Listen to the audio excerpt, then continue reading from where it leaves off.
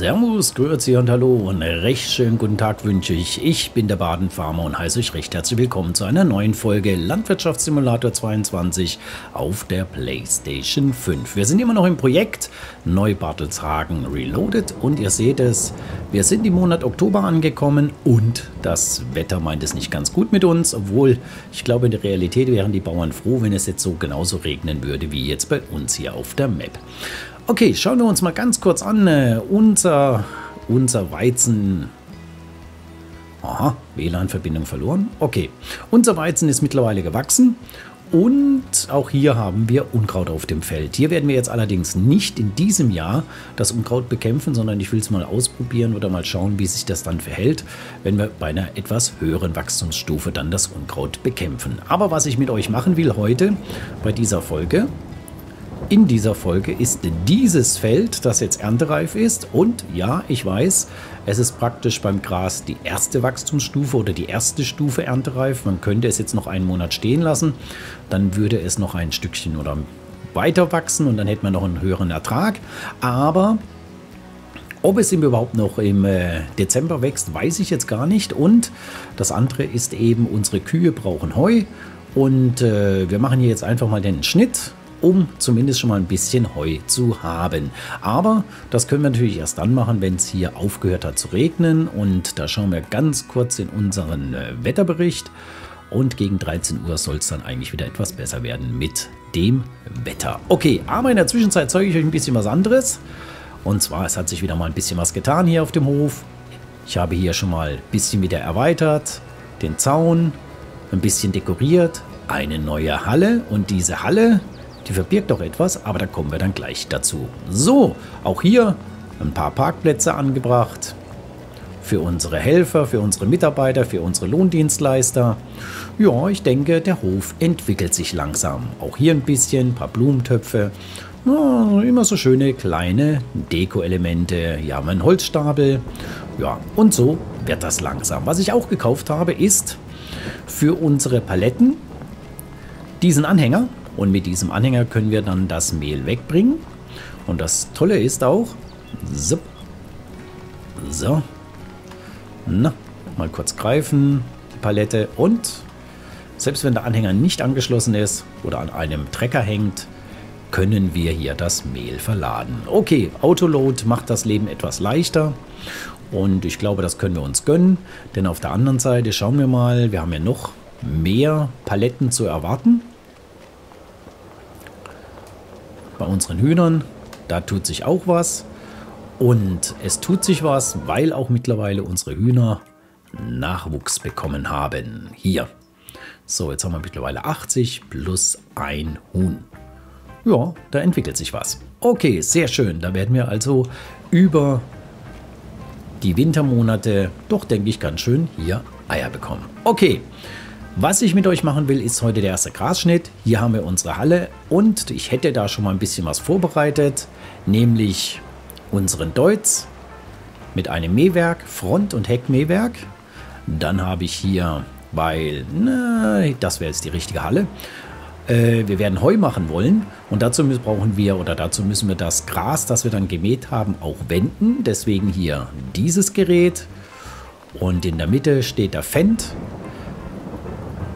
der hat dann einen Schwader, damit können wir dann das gewendete Gras, das Heu, dann anschließend zu einer Schwad legen und dann mit unserem Ladewagen einsammeln. Okay, wir werden jetzt ein kleines bisschen vorspulen, damit wir dann auch mit den Arbeiten beginnen können. So. Ah ja. Und jetzt scheint es aufgehört haben zu regnen. Sehr gut. Ging dann doch etwas schneller, als ich dachte. Okay. Dann gehen wir hier wieder zurück. Auf zweifach sollte reichen. Gut, dann legen wir los. Die Sonne kommt raus. Da oben ist auch schon wieder der Ballon unterwegs. Wir fangen an und fahren mit unserem Deutz aufs Grasfeld. So, bei diesem Mähwerk haben wir auch die Möglichkeit, sofort eine Schwart zu legen, aber da wir ja im Wesentlichen immer äh, Heu produzieren, macht das eigentlich jetzt im Moment weniger Sinn, aber ihr wisst ja, Haben ist besser als brauchen. Und deswegen werden wir jetzt erstmal das Frontmähwerk ausklappen, dann das Heckmähwerk ausklappen und die ausgewählte Arbeitsmethode oder der Arbeitsmodus ist Breitablage. Das seht ihr hier hinten, diese Klappen hier.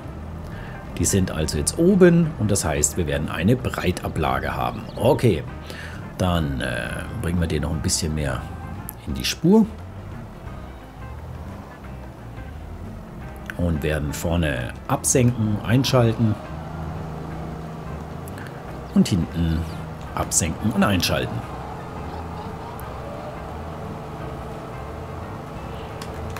So, und links unten kann man jetzt dann auch schon erkennen,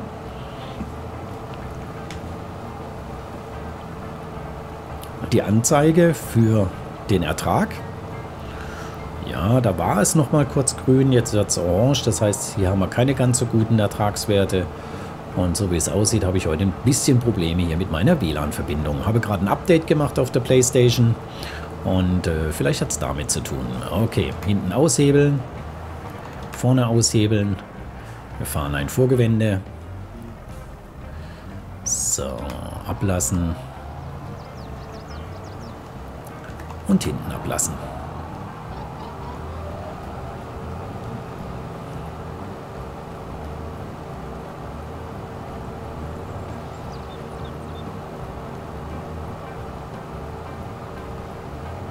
Hm, ja, hier fahren wir dann gleich um die Kurve.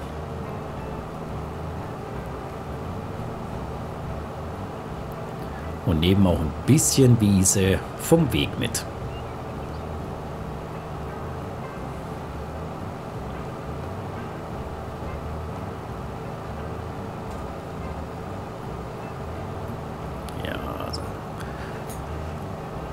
Sehr schön. Ja, hier links kann man dann noch ein bisschen den Unterschied sehen zwischen dem behandelten Unkraut und dem frischen, noch grünen Unkraut.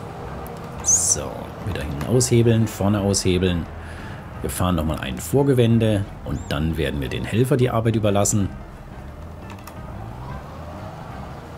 Und ablassen. Weil dann können wir auch gleich mit unserem Lindner los. Und der Lindner, der hat ja eben den Wender hinten dran. Und dann können wir hier das gemähte Gras gleich zu Heu machen.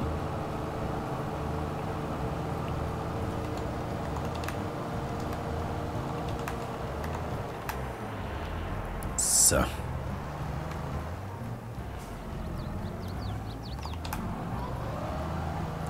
Und wieder in die Spur bringen. Und den Helfer die Arbeit machen lassen.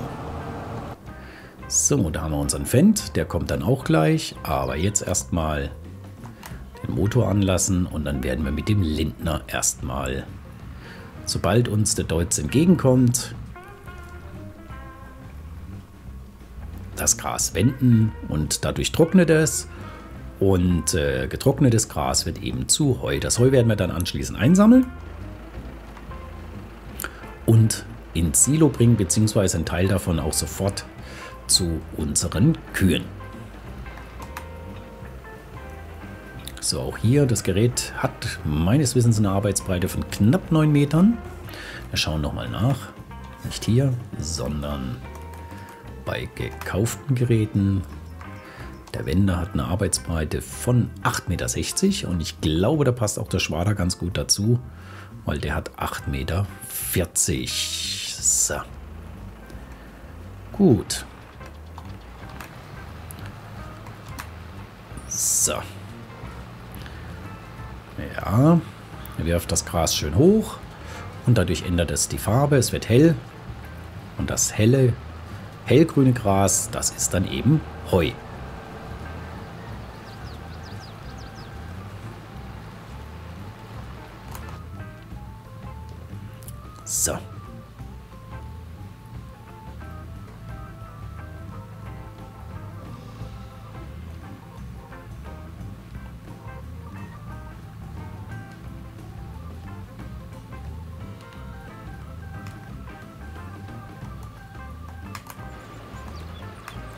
Hm, noch ein bisschen.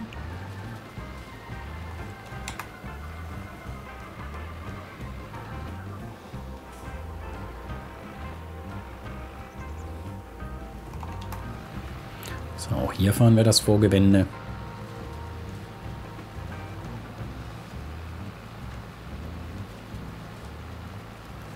Sehr schön.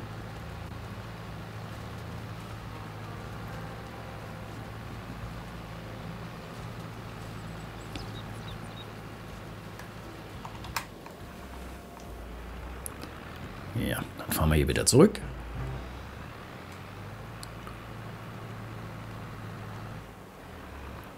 So, und unser Deutz macht das Wendemanöver.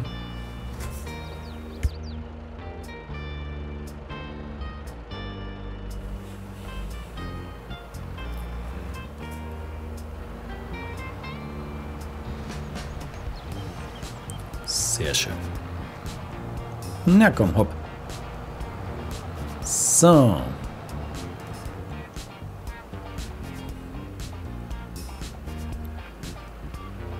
Dann bringen wir ihn hier auch in Position.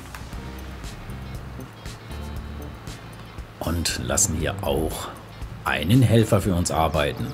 Und dann steigen wir hier erstmal aus. So, die Halle, wie gesagt, die habe ich hier auch gebaut. Dann gibt es hier einen schönen Abschluss hier zu unserer kleinen BGA, die auch gut arbeitet und uns Gärreste produziert. Und äh, in der Halle werden wir dann hauptsächlich unsere Großgeräte, Drescher, Häcksler und so weiter werden wir unterbringen und unsere Traktoren. Und ich finde es schön geworden hier und auch ein bisschen hier mit Deko. Wir haben unseren Zaun gemacht. Und was wir jetzt praktisch noch übrig haben, ist hier diese Ecke. Und da wird sich natürlich jetzt die Frage stellen, wollen wir da zum Beispiel noch äh, Tiere wie Schafe hinmachen oder habt ihr eine andere Idee, eine Produktion oder irgendwas ähnliches? Also lasst oder schreibt es mir einfach mal in die Kommentare, was ihr da für eine Idee habt, was wir hier an der Ecke noch hier für unseren Hof platzieren könnten. Ja, Jetzt aber erstmal in den Fendt. Auch hier im Motor an. Und dann werden wir jetzt eine Schwart legen. Ja, mit drei Traktoren auf dem Feld, da geht es dann richtig zügig. So. Auch hier die Maschine ausklappen. Die verfügt äh, bei 8 Meter, ich glaube 8,40 Meter hatten wir gesagt, über zwei Kreisel. Gibt natürlich auch größere Schwader. Aber ich denke, das reicht hier völlig aus für dieses Feld, für dieses Grasfeld.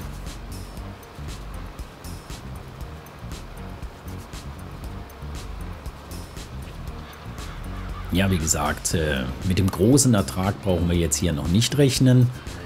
Aber wir werden mit Sicherheit hier äh, einiges an Heu doch für den Winter bekommen, sodass wir also unsere Kühe aus Eigenbestand sozusagen über den Winter bringen können.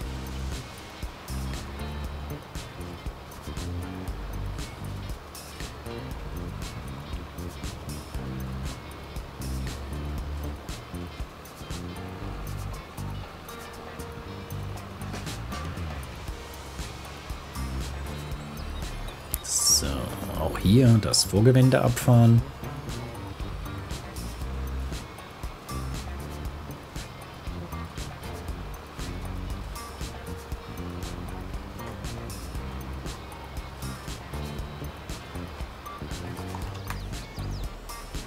Sehr schön.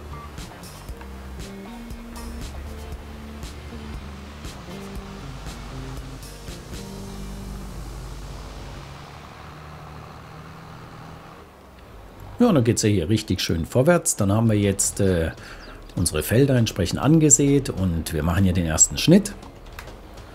Wir werden also jetzt unser erstes äh, eigenes Heu produzieren. Unsere Mühle arbeitet, unsere BGA arbeitet. Wir haben Tiere, Schweine, Hühner, die sich schon vermehrt haben. Und unsere Milchkühe produzieren Milch.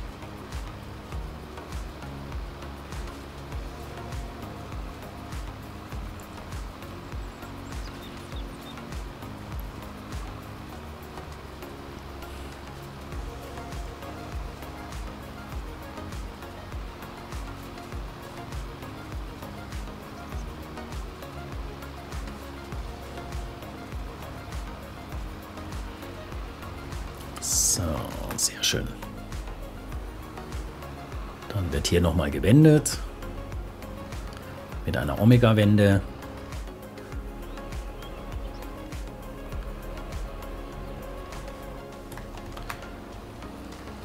Und wir gehen in die nächste Bahn.